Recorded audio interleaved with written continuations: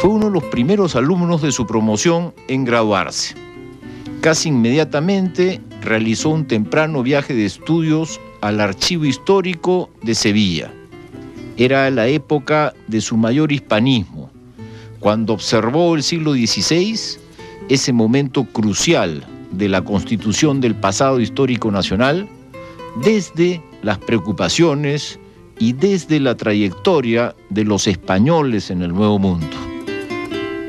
Y yo creo que Francisco Pizarro en todo esto tiene que ver hasta con los límites del Perú, porque si los límites del Perú se deben a Tupac Yupanqui, que es el Inca que estoy yo ahora trabajando, todo el Perú actual se debe a él, hasta la selva casi, pues resulta que a Francisco Pizarro se debe todo eso no porque lo conquistara, que lo conquistó, sino porque lo conservó y haciendo lo suyo lo hizo nuestro. Entonces, ese Perú con esos límites nos vienen desde Tupac Yupanqui y de Pizarro hasta hoy. Yo creo que es bastante. Aparte de que Pizarro, y por eso me interesó Pizarro, está en el punto ese de la historia que es la bisagra entre el Perú antiguo y el Perú moderno. ¿no? Como profesor universitario, Del Busto ha sabido ser ameno y erudito, entretenido y sabio, la más feliz de las combinaciones. Sus alumnos destacan la gran capacidad histriónica, su voz de trueno y sus giros idiomáticos. A ratos inclusive hablaba como los españoles del siglo XVI. Mi primera experiencia en la universidad fue con él en la Plaza Francia. Yo eh, había ingresado a la universidad y había llegado un poco tarde, digamos, con las clases ya comenzadas, porque había estado de viaje. Y con esa pues arrogancia que tiene, que tiene un chico que recién entra a clases, y mm, yo sabía cuál era mi aula y quise entrar, entonces me dijeron no porque ya comenzó la clase. Y, y pues no, y entonces, chac, chac, chac, chac, nada. ¿Pero qué es esto? O sea, Y entonces apareció eh, detrás de la puerta un señor que a mí me pareció inmenso, con una barba y con una mirada furibunda que me dijo, ¿qué quiere? Y yo le dije, entrar pues. Entonces me dijo, entre. Y cuando ya estaba sentada, que yo me sentía la reina, me dijo, y ahora, afuera. Así comenzó mi relación con él. Yo, Cajamarca, para abreviar, sin que de repente haya necesidad de hacerlo, es lo que sucedió en el Stadium, la tragedia del Stadium, donde unos pocos policías... En los años 60. En los años 60, unos pocos policías con máscaras antigases, con granadas o bombas de gases en la mano y con unos perros atrás, lanzaron las bombas contra las tribunas, que incluso las tribunas estaban protegidas por las mallas, pero se causó el desconcierto general. Esto ascendió a la categoría de miedo, subió a la de pánico y culminó en tragedia. Yo soy testigo de lo que pasó ese día ¿Estuviste? No, pero al día siguiente en mi universidad hubo un conserje que no regresó a su casa y el rector me mandó a mí que buscara a ver si entre todos estaba este conserje, que apareció, pero porque apareció al final de toda la búsqueda yo pude ver exactamente cómo había sido aquello. Y cuando yo vi aquello, hombres echados que eran de este alto, cráneos aplastados como huevos, ojos colgando fuera de las órbitas, piezas dentarias por el suelo, zapatos por todos lados, los cadáveres amoratados con la lengua afuera. Entonces yo me dije para mis adentros, así fue Cajamarca. Tenía una gran capacidad histriónica y además él siempre cuidaba mucho sus clases, ¿no? Todos lo hemos visto eh, en el patio de letras siempre antes de sus clases revisando sus apuntes, sus libretitas de notas. Él no se le podía pasar ningún dato. Sus clases eran... Eh, nos llevaban a la Polinesia con Tupac Yupanqui, ¿no? el gran conquistador.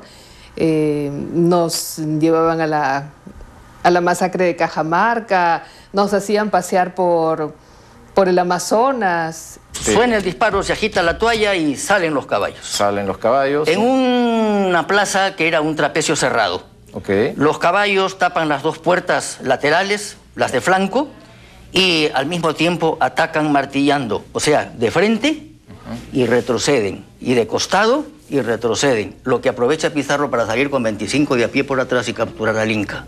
Sale la infantería detrás de los caballos, dispara la artillería, que era un solo, cañón, porque el otro se había malogrado, un falconete. Y Disparan los arcabuces, que eran solamente tres, y se consigue tal sensación entre aquella multitud encerrada que prácticamente entre ellos mismos se matan. Era una persona que hacía vivir la historia, no, no nos dormíamos cuando el gusto realmente. Tenía gran capacidad para crear imágenes. Por ejemplo, la directora del Archivo Arzobispal de Lima, Laura Gutiérrez, cuenta que uno de los caballos de los conquistadores, evocado por el doctor del busto, estuvo a punto de aplastarla. Sus palabras permitían oler la pólvora y sentir el fragor de los combates. A la siguiente clase, el sonido del viento y las velas desplegadas abrían un nuevo capítulo, y así hasta el fin del curso. Él quería que el alumno se enamorara de los personajes y que el alumno se, se diera cuenta que la realidad de la historia estaba muy vinculada al realismo de la historia. Su fantasía era porque quería revivir al personaje para que nosotros asumiéramos la historia como una historia viva, pero de ninguna manera significaba un falsear la historia.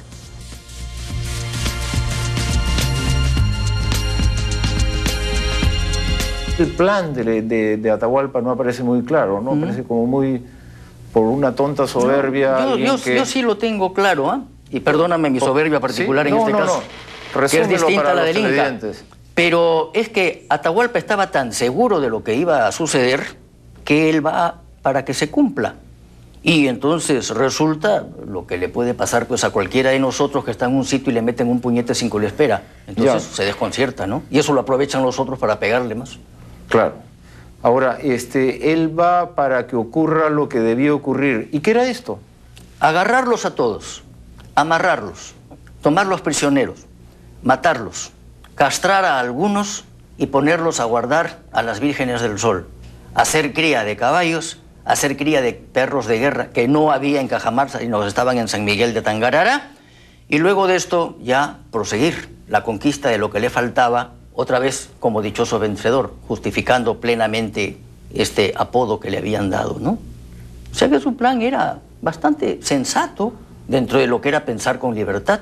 Y un hombre que era tan obedecido, un hombre que no lo, tenían... Lo que a mí me sorprende es cómo un plan de esta naturaleza no lo provee de los medios para realizarlo. Si yo quiero atrapar a un grupo de gente, pues este, los rodeo bien. yo lo sigo atribuyendo al factor sorpresa. Si en este momento entra aquí, ya lo he dicho en otra parte, un moscardón, que dicen que con su picadura transmite el SIDA, todos nos quedamos quietos y nos paramos despacito y no. Bueno ese y de repente, pues el señor que está vivo, el que está allá, se levanta, se saca el zapato y lo mata cuando se posa en la pared.